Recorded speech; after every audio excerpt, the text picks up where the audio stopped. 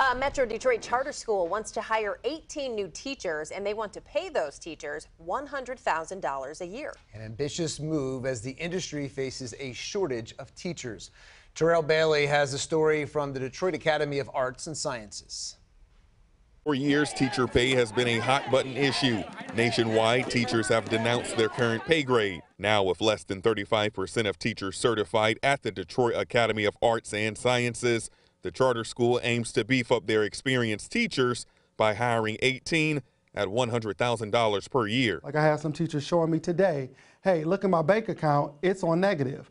They're worried about that negative bank account versus what's happening in the class, and that's hard.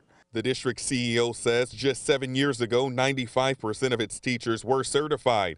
As time went on, some left for suburban districts while others left the state. This is going to be opened up nationally.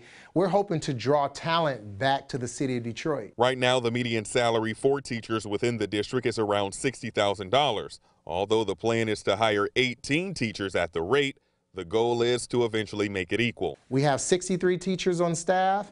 In four years, we hope that every single one of them are making $100,000. The district says programs are in place to put current staff on the path for certification. So how can the district afford the feat? They say by allocating money directly for the classroom. We got an increase from the governor. Instead of saying, hey, we're going to uh, create new positions with these dollars, we said all of these dollars go directly to this best in class program. The 18 teachers will start off making nearly double as current teachers in the charter school do, meaning it'll take around $900,000 for the initial investment. People are just going to have to, uh, school district officials, unions, uh, charter schools, everyone is going to have to meet the need and this is this is where it is. It is our market right now. Now in order to qualify you must have at least five years experience as a lead teacher at least two recent years of highly effective ratings in the michigan online education certification system.